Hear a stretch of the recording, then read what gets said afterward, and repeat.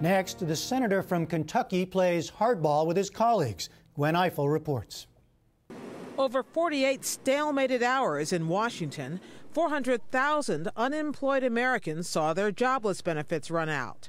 Doctors caring for Medicare patients saw their federal reimbursement drop by 21 percent. 2,000 federal employees were forced into unpaid furloughs and work was halted on 41 highway construction projects across the country. I think all the result of one senator's determination to block passage of a short-term funding bill that he says would run up the nation's debt.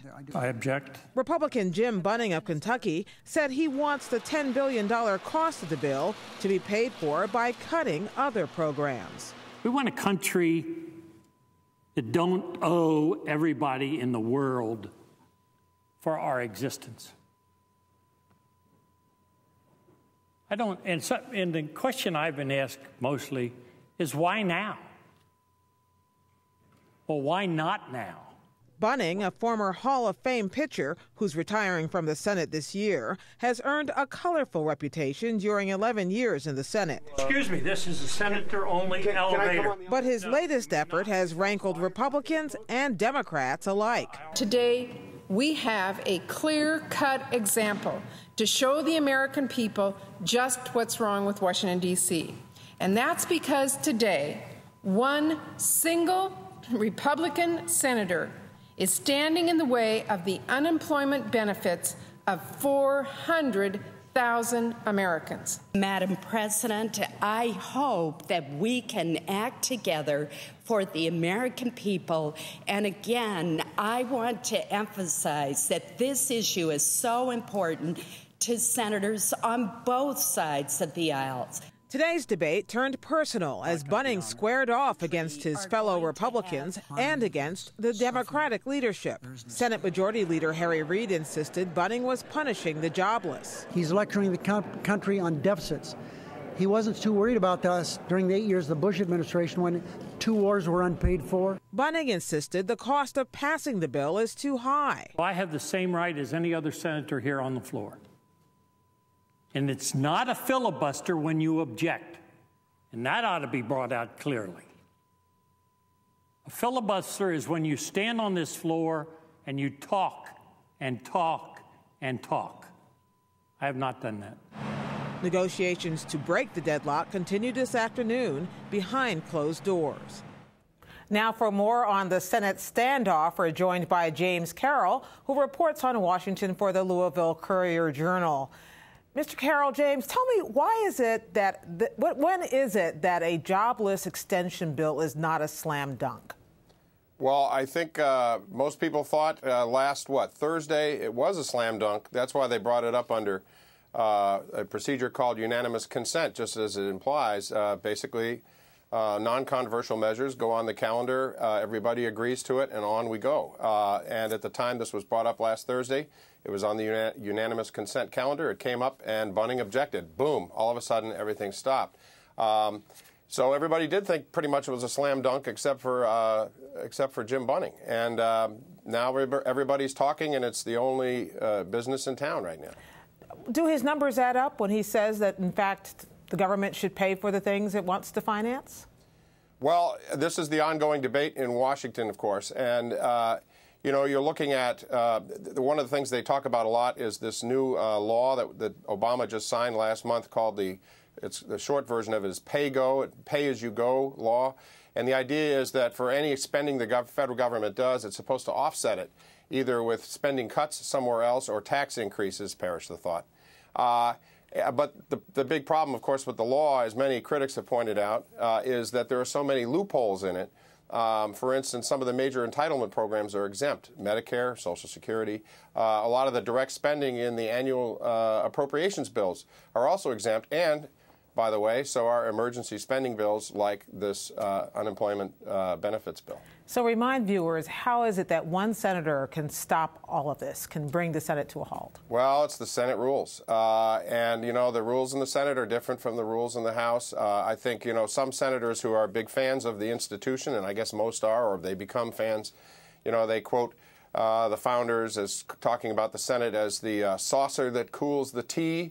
Uh, you know, when you pour the, the tea into the saucer if it's too hot. Uh, uh, other people see it as just a place where uh, uh, some other senators joke it's where legislation goes to die. Well, uh, so it, you know, and the, the problem, of course, is it feeds into this perception of Washington as a place where nothing gets done. Well, why don't Democrats just go ahead and force a vote? That's all it really takes to break a filibuster. If they think that most people are uh, two thirds of the Senate um, support this idea of extending jobless benefits and all of these really good things, why not just vote on it? Yeah, and I would venture it's even more than two thirds. Uh, they could do that. Uh, to break uh, Bunning's objection, you basically have to go through the, some of the same procedural maneuvers you would have to go through to break a filibuster, which could take uh, from if we started right now, it could take into next week. And so they were hoping for a way that perhaps they could break it some other way by basically coming up with some kind of a deal where Bunning could have a vote, uh, one single vote on an amendment that would probably fail, and then go ahead to the to the main piece of legislation, pass it, and we'd be done with it and on to other things. But uh, right now, there's no deal. Tell us about Jim Bunning. You've covered him for a while. He, he seems to be, I think, irascible is, is the kindest word even his colleagues would use. Uh, he, he's his own man, I think you definitely say. I think if you if you Google uh, words like cantankerous and ornery, you get thousands of hits. Uh, and he, he's always been this way. People wonder, you know, what's up with Jim Bunning. He, he's always been this way. I think, though, you have to overlay this situation a little bit with uh, the political situation he finds himself in. He is not running for reelection this year, and he has a bone to pick with the leader of the Senate Republicans, his fellow Kentuckian, uh, Mitch McConnell. And he believes that Mitch McConnell basically closed off all the avenues to him for running for reelection and forced him out of the race. Uh, because Bunning thought that the seat couldn't be held by Bunning. He, Bunning's already had two pretty tough uh, races. So there, that's sort of the, uh, the underlying uh, conflict uh, sort of behind the scenes. Uh, it's very interesting today when a lot of this debate came up in the Senate um, and everybody's talking about Bunning's objection, and, and both sides are talking about that. McConnell got up at one point during the morning session and gave a speech on health care, uh, not even acknowledging that any of this was going on around him just feet away. Does that mean that Jim Bunning is basically standing alone on this, uh, on this idea of stopping this bill? if not alone, pretty close to alone. Uh, Jim DeMint uh, came on, another Republican came on this afternoon and, and praised him for his courageous stand but the fact of the matter is, uh, when you're dealing with unemployment benefits, uh, there's a lot of anxiety out there. The phones are ringing off the hook. I can tell you from experience, I've been in Washington a long time. My phone at the Louisville Courier Journal's Washington Bureau has been ringing off the hook on this issue. People are calling me because they can't reach other people and they see my stories on the web. So this is an issue that is cutting through both parties. Uh, it's, it's very intense, and I think the Republicans as well as the Democrats want to see this over as fast as possible and resolved. So, well, are the Democrats, however, treating this as maybe a, a I don't know, a gift? Well, it's been an unexpected uh, uh, issue served to them on a platter. It kind of uh, came out of nowhere, really, and they have made a lot of it, uh, as you might expect. Uh, they see this as uh, they've sort of painted the entire GOP with a broad brush here. See, see, they see Bunning as sort of the symbol of Republican obstructionism in Congress, and of course they're running with that ball. But they also realize they're getting a lot of phone calls too, and yeah. uh, this has got to get resolved pretty quickly. Well, speaking of resolution, briefly, is there one in the works? We hear about closed door meetings all day. There's, well, that's sort of the currency in D.C., isn't it? As you know, uh, there are a lot of closed-door meetings. One of the scenarios I've heard is I've heard a couple of conflicting scenarios. One is that Bunning will be given an opportunity to uh, have a vote uh, on his proposal to pay for this uh, program uh, with uh, money out of the stimulus package, mm-hmm. and then he'll probably lose, and then they would go to the other piece of legislation, pass it, and, and they could move on. There's other scenarios where Bunning might be forced to talk all night, and other, you know, it could be a real nightmare. So we don't, we won't go there till we hear more, I guess. Well, since you're, you're it'll be a nightmare for you since you're the one covering it. James Carroll of the Louisville Courier Journal, thanks a lot for helping us out. My pleasure.